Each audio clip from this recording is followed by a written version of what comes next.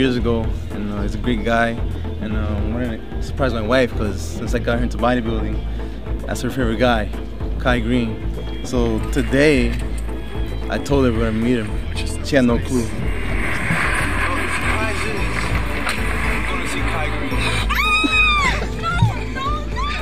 as soon as my husband showed me, I was like, I want to meet him.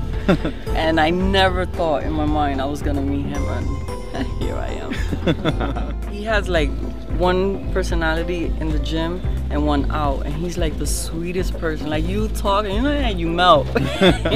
but he's awesome. You just watch Kai train, and you see the intensity in him. But you also see that this guy is just like a real, has a great personality. He's a master at what he does, and I believe and he's a brilliant artist, you know, and he's got he's got that dynamic personality, and I think that's why he's the people's champions. Really, I do. I'm in the military and all that, so this is like all the greatest guys that motivate me and all that. Definitely want to keep it for the rest of my life, pass it down. And I got Sadik on here, really humble guy. Juan Diesel, now it's a party definitely going.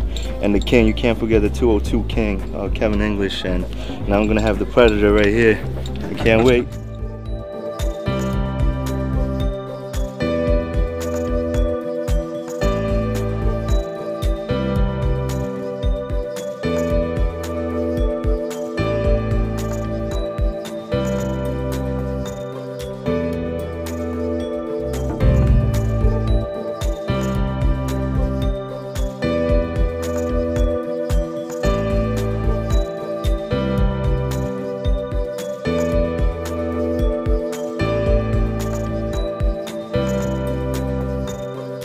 Gonna put it down here somewhere where I could look it up on the wall and say, man, that's motivation every day I wake up to. I'm 69 years old, and I'm still training.